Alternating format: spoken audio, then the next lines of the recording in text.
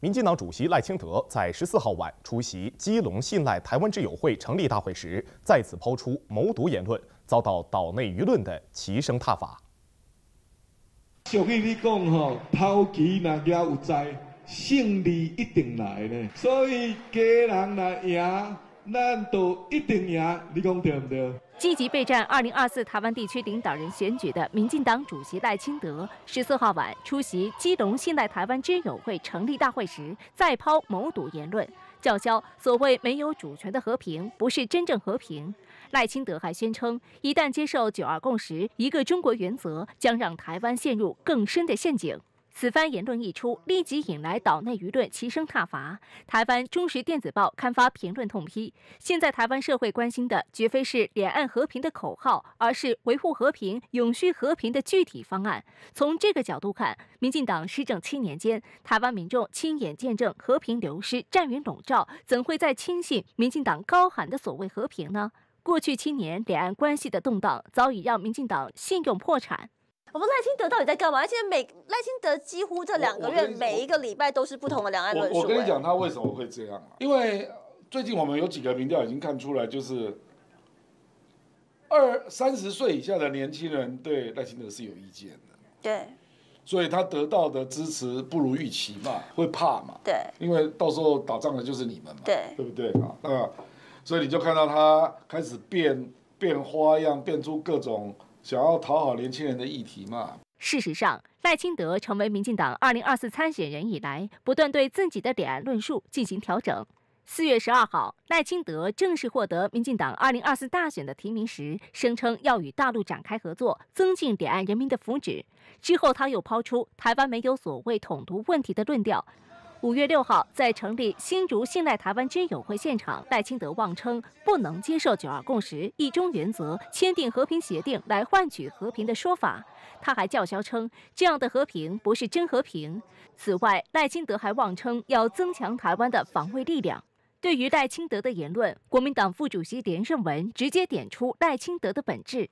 不管用什么样的话术、怎么样文青的言语，其实都没有办法掩饰 赖清德先生主张台独会对把台湾带入危险状态呃这样的事实。岛内舆论也痛批赖清德的言论，称其变来变去，却只是换汤不换药，本质根本没变，只想骗选票。无论赖清德如何包装新瓶装旧酒的台独路线，都只会是绝路。台湾中时新闻网刊文指出。台湾民众都知道，民进党的台独党纲是点岸引战的导火线，换了抗中的汤，换不了台独的药。台湾《中国时报》则发文表示，在两岸关系的语言运用上，赖清德极尽混淆之能事，有高度诈欺性。这么粗糙的论述，更证明赖清德恰恰可能成为战争的引爆者。相关问题，我们连线北京演播室嘉宾、时事评论员朱松林。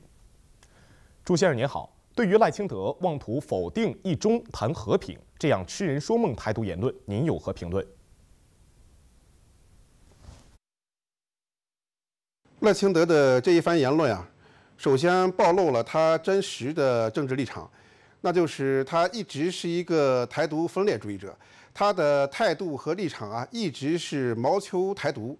所以，无论他怎么样进行包装，无论他采取怎样的花言巧语，无论他采取怎样的所谓缓和的姿态啊，其实都掩盖不了他的这一个立场和态度。第二点啊，大陆方面明确提出来，有台独就没有和平。如果说想和平的话，那必须在九二共识的共同政治基础之上啊，共同推动。赖清德的这样的一个说法呀，无异于痴人说梦。